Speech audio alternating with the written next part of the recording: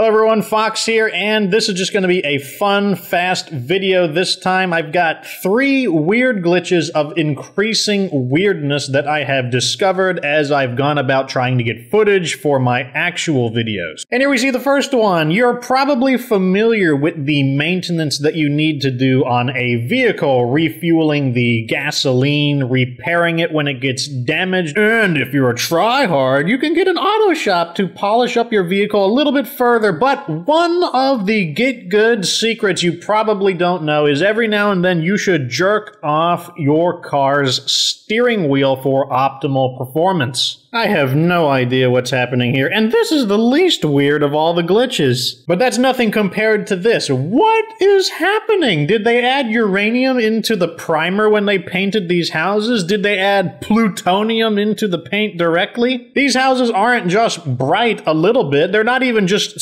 slightly glowing. No, they're like blindingly bright. I could see them at the maximum field of view. I've got no idea what's going on here, but I decided to investigate. I went inside one of the buildings to see, I don't know what I was thinking. I just went inside one of the buildings to find out what would happen, and the inside was pretty normal, though you could certainly see the powerful glow of the exterior shining through. So we've got jerking off your car's wheel, and then you've got nuclear irradiated paint for your houses. Can anything get weirder than that? And the answer is yes. Look at this. One look at this tells me one thing that they need to add into the future content of the game. You know, you've got your different trade skills like pharmacology, mechanic, engineer, utilities, etc. Well, they need to add an additional skill called Exorcist because that is clearly what I need. I understand that State of Decay 2 is about zombies, but no one told me that there were also ghosts as well. And this is terrible. I need those. My rucksacks are all in those two vans. I need them. This one is just flying away to the local fire department, just wigging out, and then later on I turn my back on it to see what the other vehicle is doing, which is